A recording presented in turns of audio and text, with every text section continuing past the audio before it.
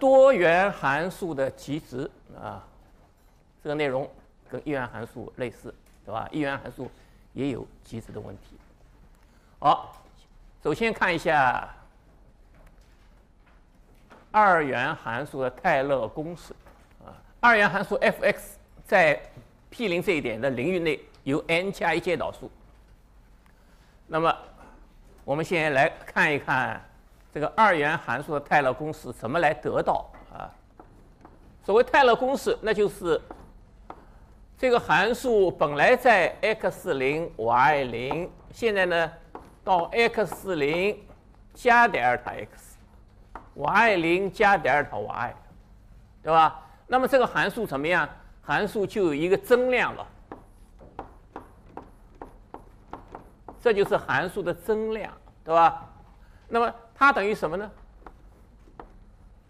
我们在一元微积分里边呢，我们曾经介绍过，哎，给自变量以增量以后，这个这个增量呢，最后我们可以用多项式来近似它，对吧？多项式来近似它，这就是泰勒公式。当然有误差，对吧？我们那时候讲泰勒公式有两种形式，一种呢，余项是比亚诺余项。高阶无穷小，一种呢是勒格朗日余项，对吧？两种。好，那么现在这个怎么样呢？这个呢讨论起来，请注意，因为这是两元函数了，那么要讨论这个形式呢，呃，这样一个，也就是它与它的这个一个增量，这样一个增量到底等于多少呢？哎，我们想利用一元的函数的泰勒公式来推导。啊，来得出相关的结论，怎么做呢？这样，你看，引进一个大 F，引进一个大 F，这个大 F 呢是 x 零加 t 德尔塔 x，y 零加 t 德尔塔 y。那么好，请注意了，也就是现在如果 t 等于一，t 等于，也就是这一项，其实就是 f 一，也就是。如果德尔塔 x、德尔塔 y 把它固定住啊，固定住，那么它其实就是一个一元函数。哎，一元函数咱们有泰勒公式，对吧？哎，就可以用一元函数的泰勒公式，大家还记得吧？哎，大 F T，对吧？这是一元函数的泰勒公式。哎，我们可以呢把它展开出展开出来。对吧？展开出来。关于 t，请注意，关于 t 来展开。那么好，对吧？f 说，f 零，对吧？加 f 一撇在零这一点乘上 t，记得吧？加 f 两撇，哎，在零这一点 t 平方除以二的阶乘，再往下。记得吧？这么一个式子，泰勒公式。那么请注意，f 零现在是什么？f 零就是当 f 如果 t 等于零的话，这就是 f x 零 y 零，对吧？好，如果我们这个式子写出来了，如果 t 等于一，f t 等于一，哦，刚才我已经说 f t，f 那 t 等于一的时候，就是这个就是这一项。如果 f 一，它就是谁呢？它就是大 F x 零加德尔塔 x，y 零加德尔塔 y，对吧？这这个就是 f 一。这个呢，刚才我们说了，就是 f x 零 y 零。哎，那好，如果我们利用这个公式，我们就可以写出相应的项来。那么最后呢，哎，这个我们就可以看一看。这个公式最后怎么样呢？你看，这个如果 t 等于一，也就是这一项将等于 f 零，就是这一项。后边什么呢？后边是这些，这些当然看起来应该说相当复杂，对吧？这个是这个符号可能对大家说起来也有点，也会感到很困难。但是实际上呢，实际上并不是，这个符号只是一个运算符号，运算符号。请注意，这个符号什么意思呢？这个符号，我们来解释一下这个符号。前面那个 k 阶乘分之一，我想大家不会有问题，对吧？因为我们我们这个公式里边本来就有，你看分母上就有 k 阶乘分之一，对吧？这是二二的阶乘分之一，下面是三的阶乘分之，就本来就有这么一项。关键是这个符号什么意思？德尔塔 x 加上德尔塔 y k，后面呢是 f，对吧？这是在哪儿呢？在 x 零 y 零。这个符号什么意思？这个符号如果清楚了，就很好办了，对吧？那么什么意思呢？这是一个运算符，运算符号。运算符号在作用对谁运算呢？对谁运算？对 f，或者说对 f 作用啊。比如说 k 等于一啊，咱们来看，简单的看一两项吧。比如说 k 等于一，k 等于是谁呢？这一项啊，那就是一次方了，那就好，那就是只有这个括弧作用在 f 上，那什么东西呢？就是德尔塔 x。这个符号，这个当然是德尔塔 x 呢，就是一个增量了。这个是个运算符，这个独立的符号，光这么一个符号，应该说不是一个结果，它还没算，还没还没运算呢。因为对谁运算？对它运算。好，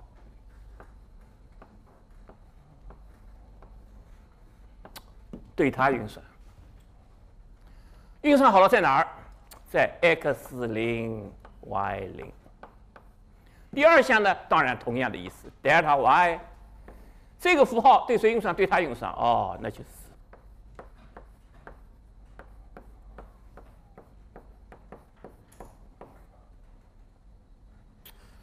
好。那第一个当然很简单了，我想大家应该明白。好，咱们看看 k 等于二什么意思 a 等于二什么意思呢？哦，那就是这儿是 a 二了。那么这个是二，就是平方了。平方什么意思呢？首先，这个运算符要按照这个这样一个表达式的平方来进行运算。好，那么就是这一项的平方，那是谁呢？德尔塔 x 的括弧平方。这个运算符也要平方了。好，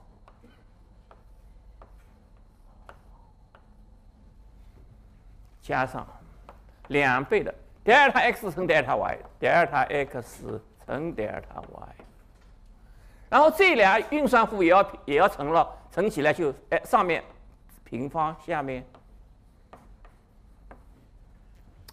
最后这项的平方。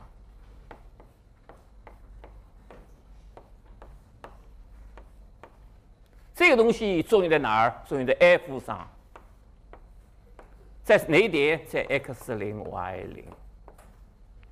那么这什么意思呢？那就是如果再写一下，就是德尔塔 x 的平方，这第一项这个东西作用在 f 上哦，二阶导数，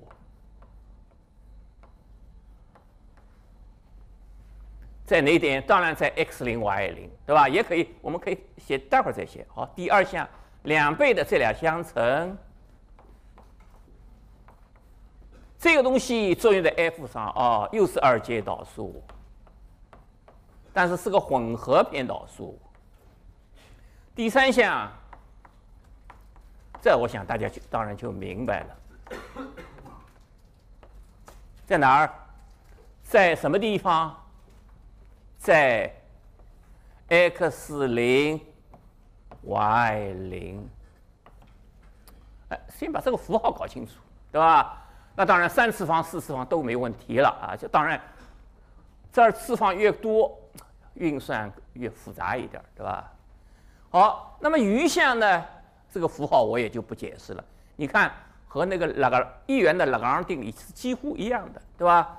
不过呢，这个地哎，这个地方是 n 加一次，这个东西请注意，运算符是个求导数的运算符，在什么地方呢？不是在 x 零 y 零，也不是在 x 零加德尔塔 x，y 零加德尔塔 y，在哪儿？在中间这俩点的中间啊。好了，那么这就是我们首先啊解释一下，就是泰勒公式，二元泰勒公式就这么一个东西。我我们当因因为由于用了这个联合号来写啊，而且引进了这样一个运算符。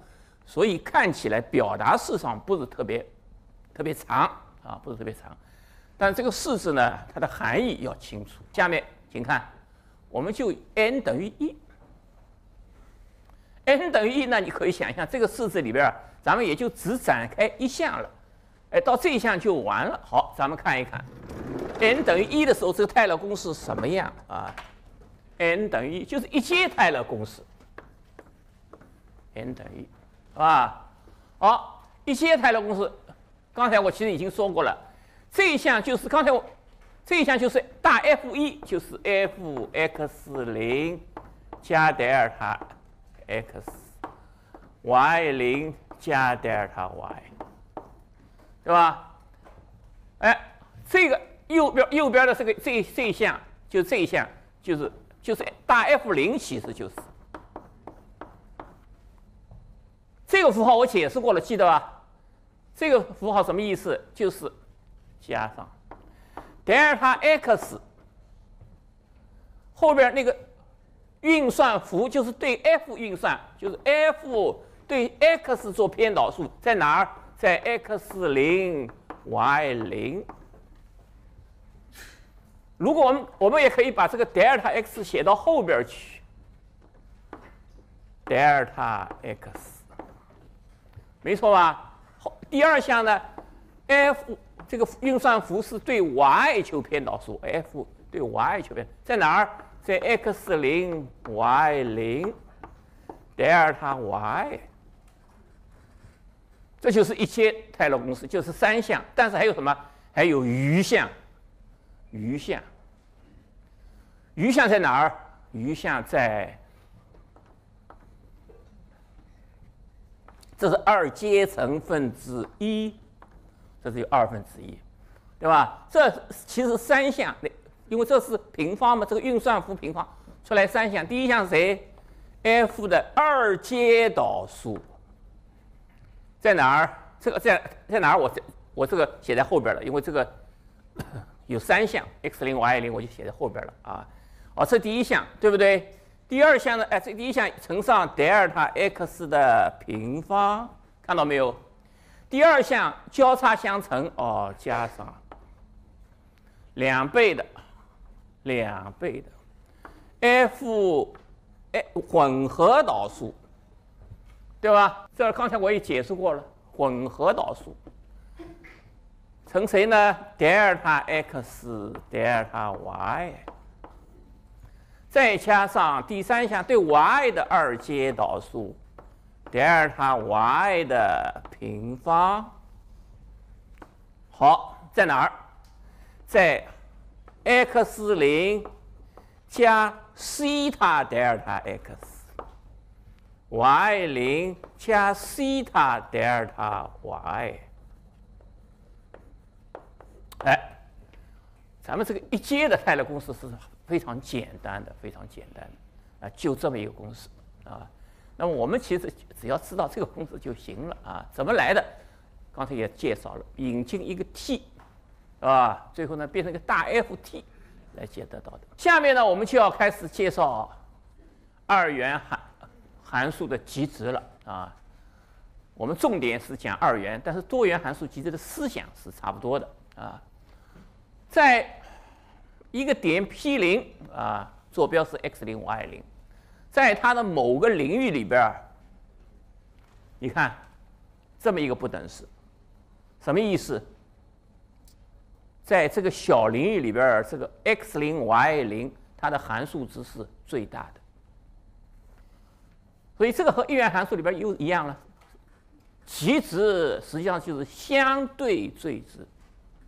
小范围里边儿它最大，小范围，对吧？多小？可能很小，可能非常非常小。不管多小，只要在很小的领域范围内，它是一个最大值，它就是极大。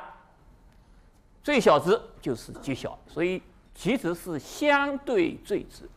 那么这个点呢，就称为极值点了啊，极大值点或者极小值点。第二个呢，下面我们来看看极值的必要条件，也是非常容易的。刚才我们说了，极值什么东西呢？小范围里边的一个小领域里边的最值，比如说，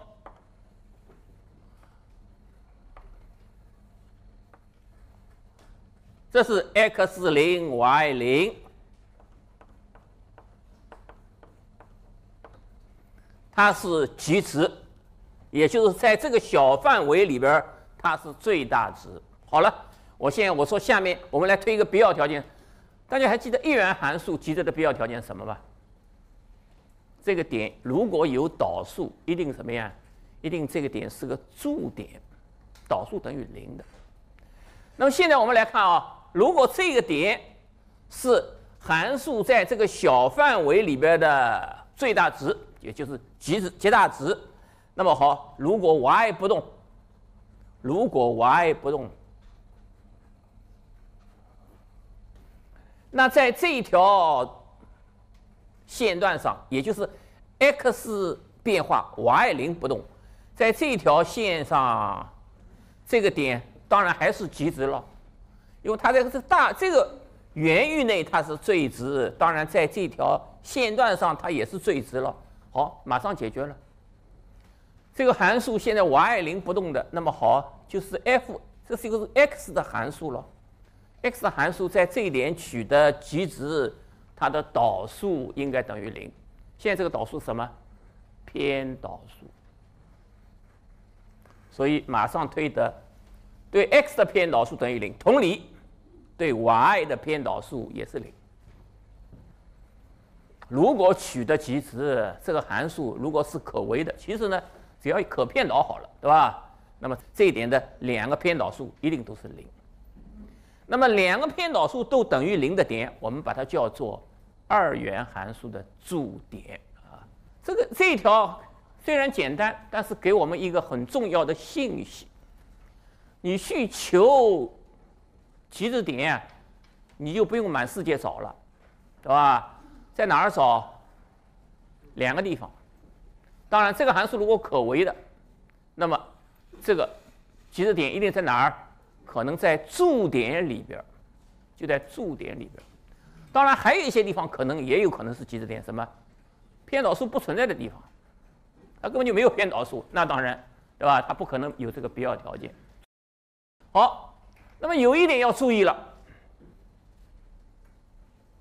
极值点如果可微是驻点，反过来，驻点是不是一定是极值点呢？未必。未必这个一元函数里也有的，记得吧？可导的这个点，如果啊这一点如果导数等于零，它不一定是极值点，对吧？最简单，举个例子好了，y 等于 x 三次方，没错吧？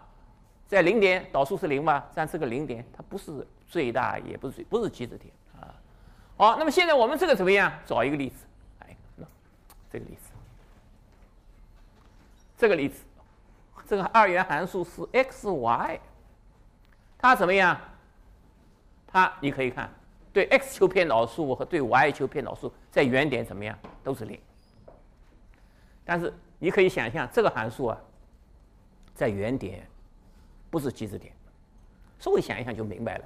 你这个在这个原点做一个再小的圆，请注意，在这个再小的圆里边，因为它是个原点嘛，所以它的它的周围啊。就有第一象限、第三象限、第二象限、第四象限都有的。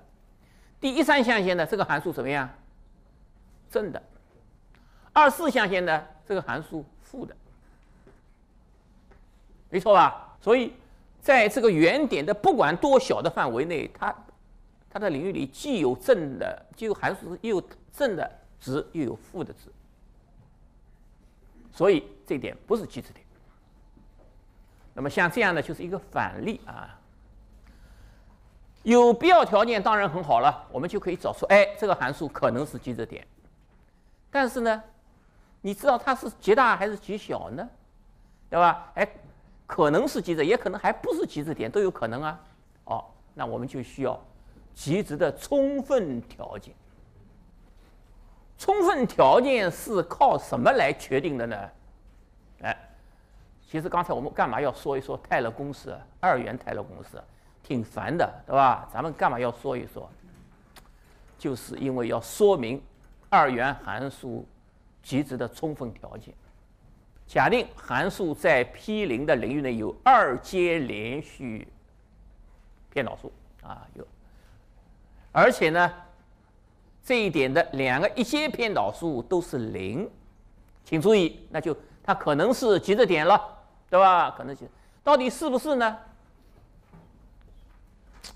咱们引进个记号，把这个三个二阶偏导数啊，不有三个吗？一个是对 x 的两个连续求两次偏导数，对 y 求两次偏导数，还有一个混合导数，这三个在 x 零 y 零这一点的值记作 a b c。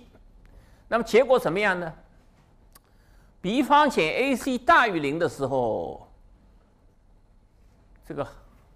f x 零 y 这一点它不是极值点，啊，不是这个函数这个值不是极值。如果 b 方减 ac 小于零的时候呢，这个点是极值。那么分两种情况，一种呢，a 如果大于零，这个值是极小值；a 如果小于零，这一点是极大值。什么道理？为什么？看这儿。哎，看这个式子。刚才我说了，其实咱们刚才讲二元泰勒公式，就讲一个 n 等于一的，就要解决你这个问题，啊，解决这个问题。好了，你看啊，那么现在有什么呢？f 根据这个这个条件，我们已经知道这一项是零了，驻点嘛，所以这俩是零了，没错吧？这一项是零。这一项也是零，这两项没有了。那么在，请注意，在这个小范围里边，就是 x 增加一点，y 增加一点，也就是在 x 零 y 零的小范旁边了，对吧？x 增加一点，y 也增加一点儿，在它周围了。周围这个函数值到底比它大还比它小呢？比它大，它就是最极小值了；比它大。啊，比它比它大，对，它就极小值了。这些如果比它小，这就是极大值了。那么看什么呢？那当然就看它减它了。它减它，这是零了，那就是这个了。关键就看这一项了，这项正还是负，对吧？如果正，极小；负，极大，不就完了吗？那怎么来确定这一项到底？正还是负呢？这一项请注意，是个什么样的一个一个表达式呢？平方，这个是个变量，现在德尔塔 x 正变变化的，这个德尔塔 x 跟德尔塔 y 呢，对吧？也是变化的，变化的。也就是这个地方可以看成是两个变量，这个是比如说叫做 u，u 平方，这个是 u 乘 v，这个是 v 平方，所以这是一个二次三项式。你说对不对？这个二次三项式，那这个二次三项式啊，咱们中学里其实对二次三项式咱们会很会研究的，很会讨论的。符号咱们是讨论的、掌握的非常熟练的，可以说。但是咱们那个中学的二次三项式呢，是一元的。二元的讲过没有？中学里边研究吧？不研究对吧？不研究。那咱们怎么弄呢？这不，哎，没没关系嘛。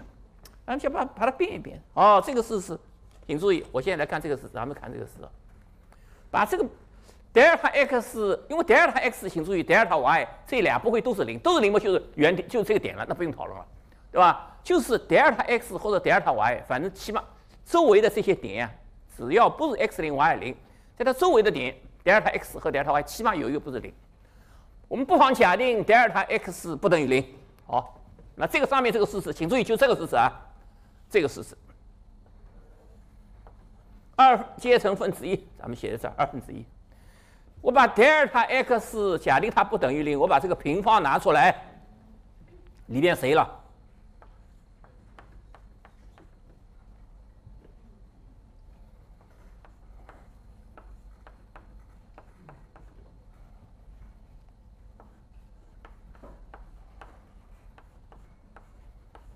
没错吧？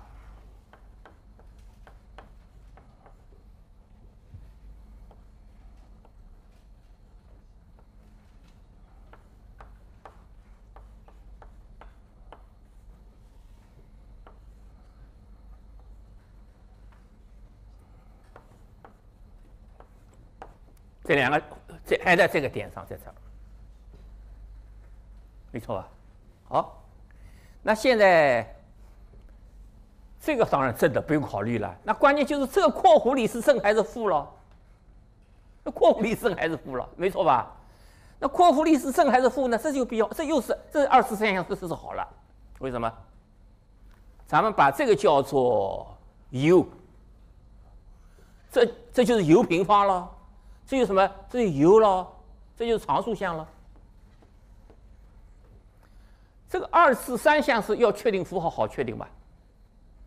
二次项式确定符号很好确定的？就看那个 b 方减四 ac 了。中学里边一元二次，对吧？二次三项式一元二次函数，就看那个系数了。系数是谁呢？就是这个东西，哦，那就是有个德尔塔，中学里有个德尔塔判别式，有吧？它的平方哦是 f x y 的平方减去四倍的它乘它哦减去四提出来，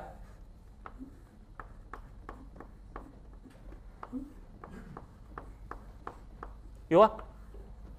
它的符号，它如果是，它如果是 b 方减 c，就这玩意儿，如果小于零，这个二次三项是什么样？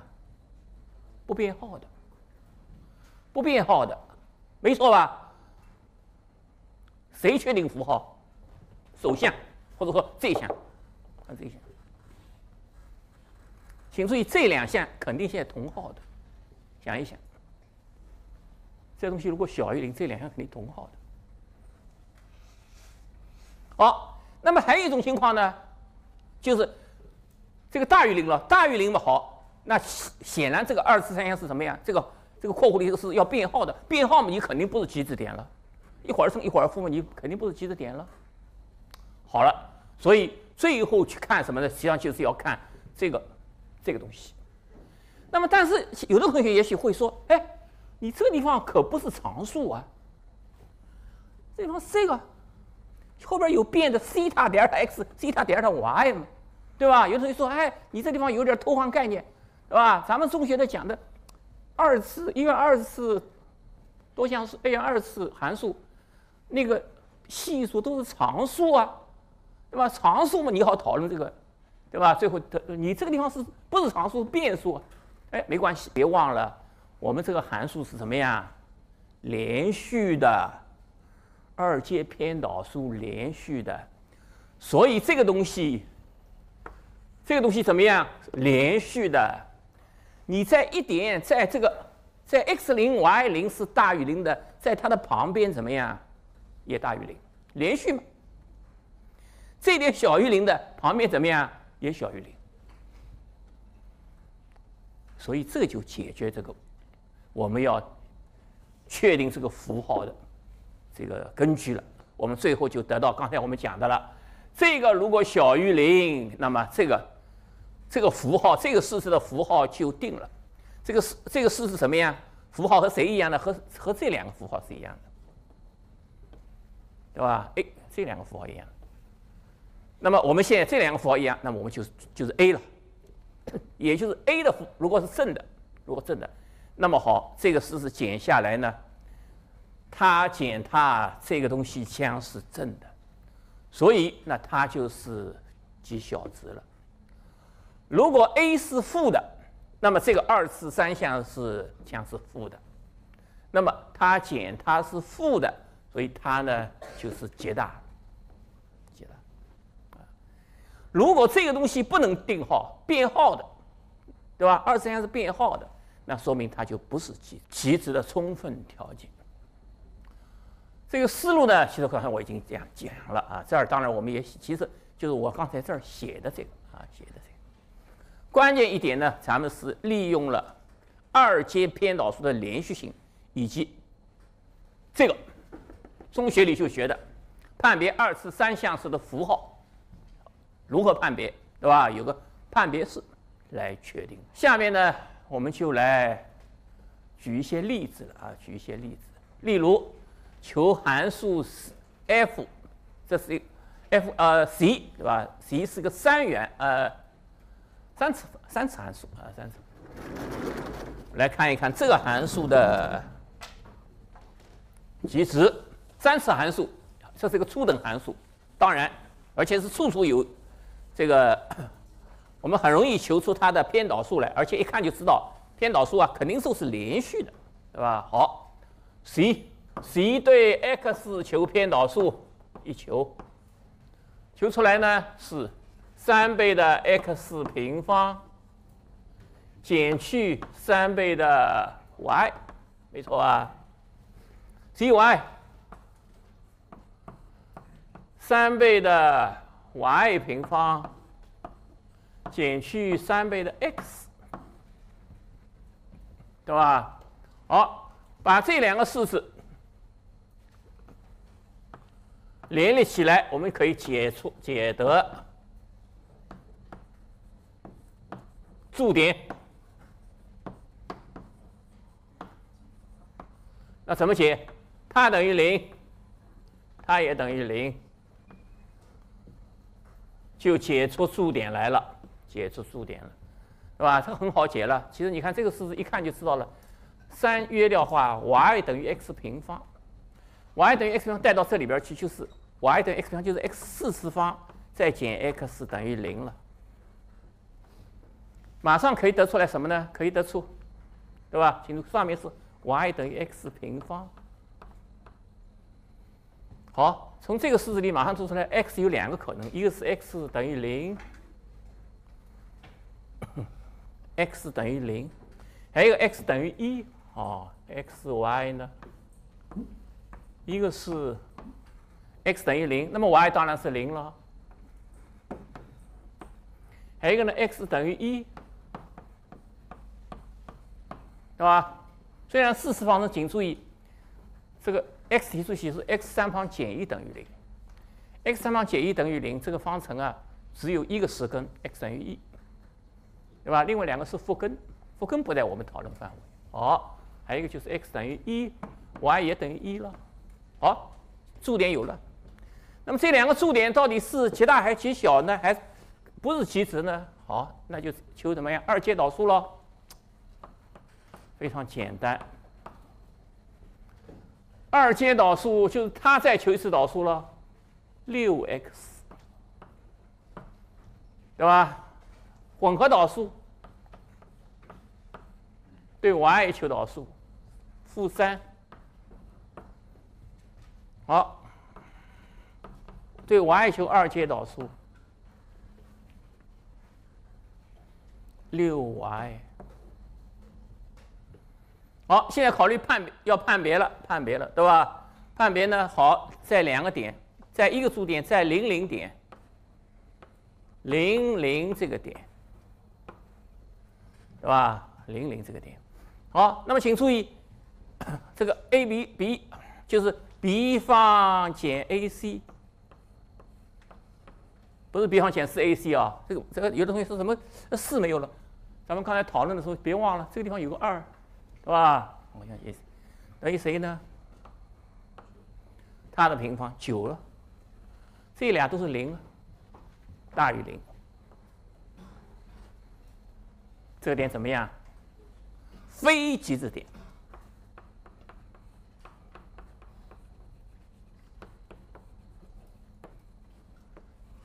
对吧？另外一个点。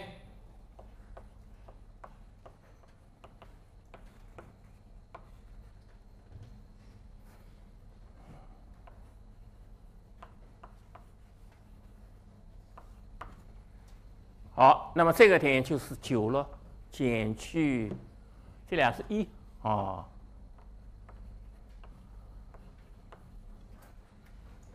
那么这个点显然是极值点，对吧？而且呢，请注意 a 怎么样？这一点是一了，a 大于零的。